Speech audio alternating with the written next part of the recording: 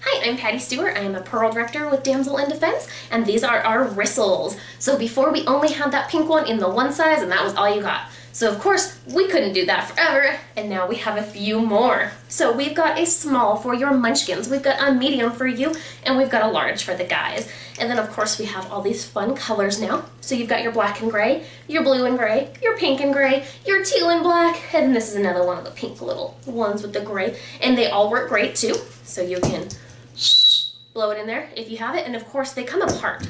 So it is glued together at the ends, and then you can just unravel it like a braid, and then you can use it in any kind of self-defense or even life-saving kind of modes. You know, you can cut off circulation to your arm if you get cut real bad. You can make it into a sling.